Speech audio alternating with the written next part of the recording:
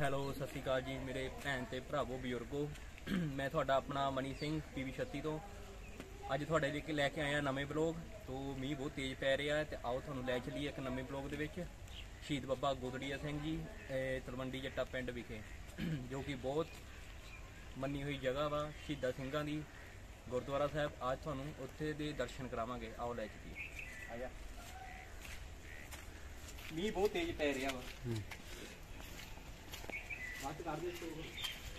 ਲੋ ਜੀ, ਰਿਕਸ਼ੇ ਦੇ ਵਿੱਚ ਜਾ ਰਹੇ ਆ ਤੇ ਮੀਂਹ ਪੈ ਰਿਹਾ ਵਾ।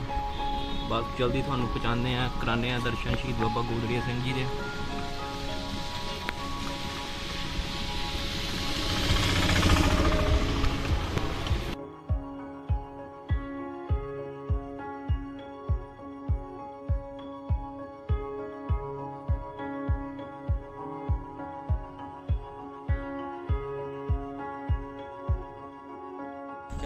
ਲੋ ਜੀ, ਪਹੁੰਚ ਗਏ ਸ਼ਹੀਦ ਬਾਬਾ ਗੋਦੜੀਆ ਸਿੰਘ ਗੁਰਦੁਆਰਾ ਸਾਹਿਬ। ਚਲੋ ਆਓ, ਤੁਹਾਨੂੰ ਲੈ ਚੱਲੀਏ।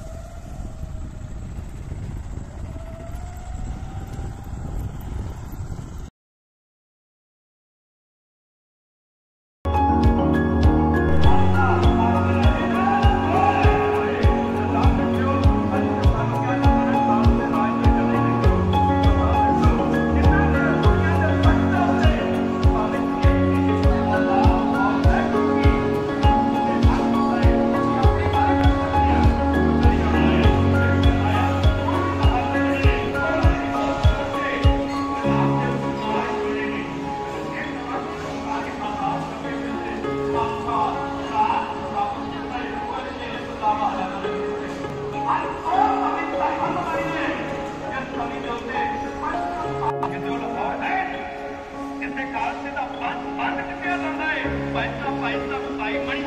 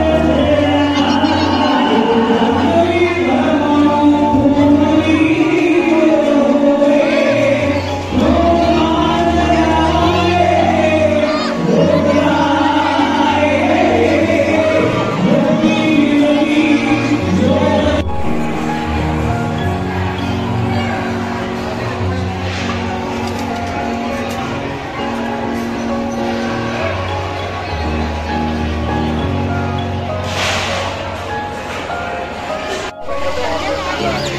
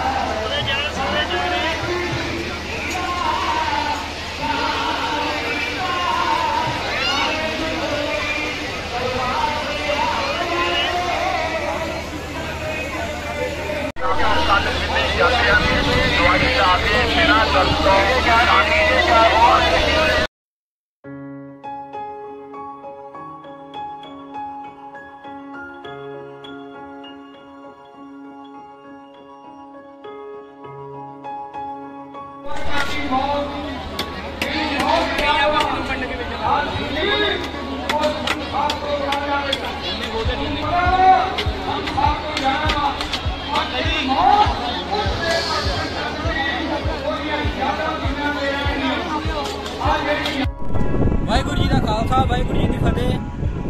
ਹਰ ਸਾਲ ਦੀ ਤਰ੍ਹਾਂ ਇਸ ਸਾਲ ਵੀ ਸ਼ਹੀਦੀ ਦਿਹਾੜਾ ਬਾਬਾ ਗੋਲਡੀਆ ਸਿੰਘ ਜੀ ਦਾ ਹਰ ਸਾਲ ਦੀ ਤਰ੍ਹਾਂ ਇਸ ਸਾਲ ਵੀ ਮਨਾਇਆ ਗਿਆ ਹੈ।